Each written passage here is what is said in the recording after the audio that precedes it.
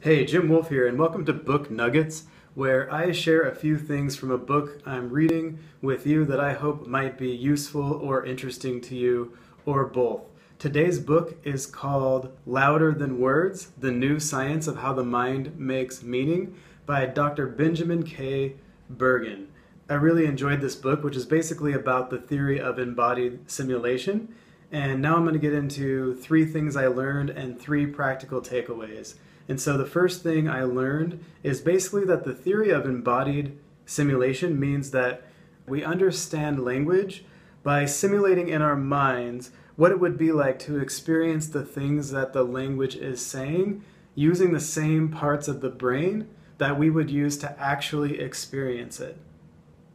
And that might be why we love hearing stories so much. It's a lot easier for our brain to process someone's really descriptive story than it is to look at a more abstract math problem, for example. And so it seems like if this theory is true, that it would be harder to understand a math problem because it's further removed from our actual physical experience in the world. And so, what the embodied simulation theory is saying, from my understanding of this book, is that we understand what people are saying to us, what we read, and the language around us by trying to simulate an experience of what the language is saying in our mind using the same parts of the brain that we use to actually experience it in the world. And so, the closer something is to our actual experience, the easier it's going to be for us to understand it. And I think that makes common sense. And so, the theory of embodied simulation is the first thing that I learned. And related to that, the second thing that I learned from Louder Than Words is that Meaning is based on our experiences in our particular bodies in the particular situations that we have dragged our bodies through. And because of that, meaning is personal and can definitely vary from person to person and across cultures. And I'm going to read a quote from the book that I think nicely summarizes the theory of embodied simulation and the fact that meaning can vary so much from person to person and culture to culture. And so in the book on page 16, uh, Dr. Bergen says if meaning is based on experience with the world, the specific actions and percepts an individual has had, so your life experience, then it may vary from individual to individual and from culture to culture. And meaning will also be deeply personal. What polar bear or dog means to me might be totally different than what it means to you. Moreover, if we use our brain systems for perception and action to understand, then the processes of meaning are dynamic and constructive. It's not about activating the right symbol, it's about dynamically constructing the right mental experience of the scene. Okay, so I'm going to read that again. It's not about activating the right symbol. It's about dynamically constructing the right mental experience of the scene. That's what he's saying about how we create meaning. Furthermore, if we indeed make meaning through simulating sights, sounds, and actions, that would mean that our capacity for meaning is built upon other systems, ones evolved more directly for perception and action.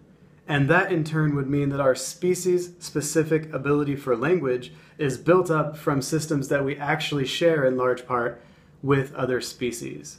And so I think that quote from the book is a really good summary of what Dr. Bergen is talking about throughout the book. And then the third thing that I learned is a word called idiolect. So we all know dialect, that's basically a distinctive way that a group of people uses language, and an idiolect is an individual's distinctive and unique use of language. So basically, what he's saying is each individual person, because we all have different life experiences, has their own way of using language, and that's called an idiolect.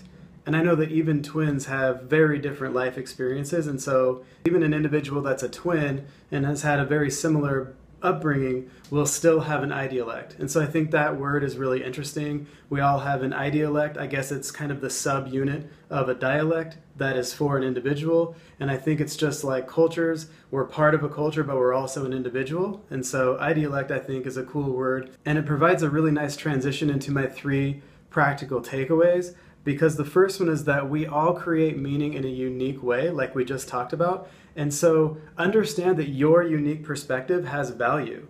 Nobody has the exact same life experience that you do. And so your way of looking at something, your way of thinking about something has value.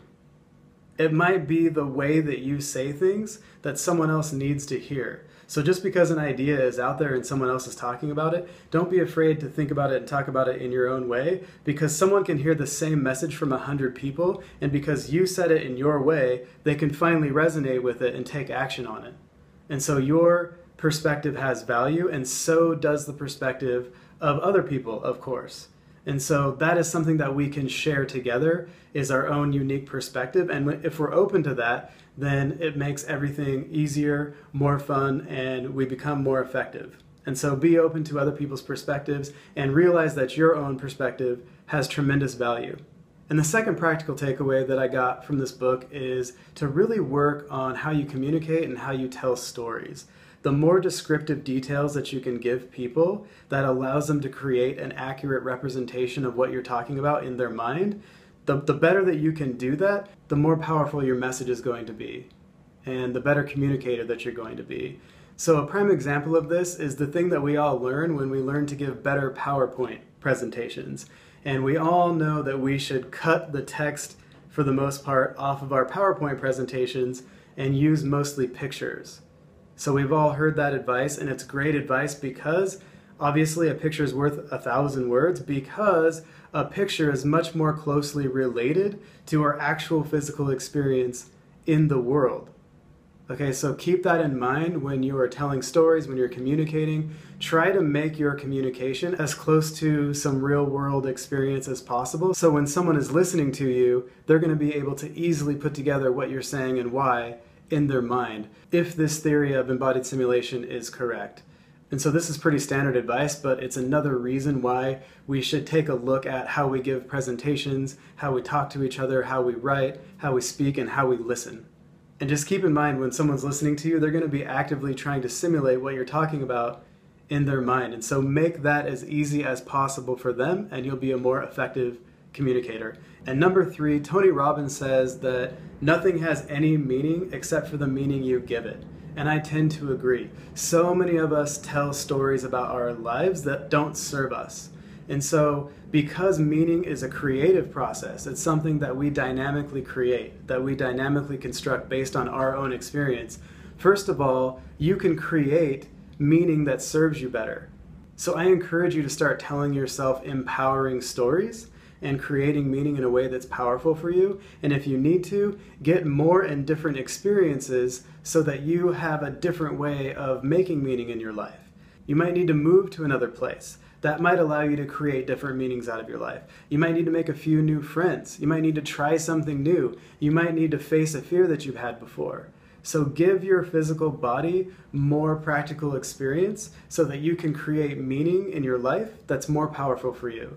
And so you can stop telling yourself and other people disempowering stories and start telling yourself empowering stories that allow you to take action in your life and allow you to be more fulfilled and allow you to reclaim your power. So meaning is a powerful thing. It's one of the most important things that we do as humans is creating meaning. This is one theory of how we might do that. I think it's very compelling. So I definitely recommend giving Louder Than Words, The New Science of How the Mind Makes Meaning a read. I put the Amazon link to the book below this video for you, so definitely go give that a read, and if you do check it out, let me know your thoughts. And with that, I'm Jim Wolfe, and I'll be back with more soon. Cheers.